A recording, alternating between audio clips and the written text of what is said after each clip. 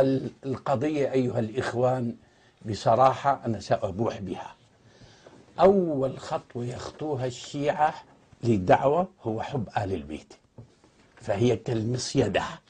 ترى الفأر الجبنة فتدخل إليها.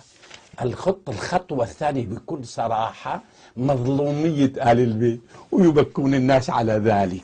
الأمر الثالث التشكيك. وأنتم تلاحظون من الدكتور على مدار 17 ليلة. أعيد. الخطوة الأولى حب آل البيت فالناس ين- ينساقون وراءهم.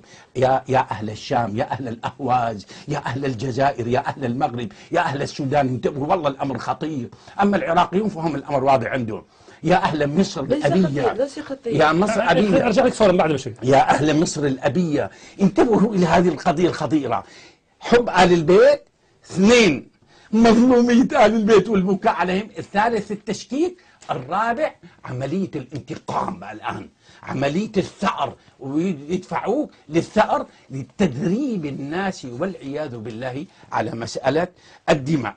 آه، أقول له انظر انظروا إلى جمال مذهب أهل السنة. بس أريد بس هذه الحاجة وسأترك الوقت. جمال أهل السنة ماذا ينظر المسلمون من أهل السنة إلى جمال الإسلام؟ أن الصحابة أحباب. الطرف الآخر أنهم أعداء. أن الله ألف بين قلوبهم بنص القرآن. الطرف الآخر أن الله أبغض بين قلوبهم. الطرف الثالث كانوا متعاونين كانوا متخاصمين. لاحظ الجمال.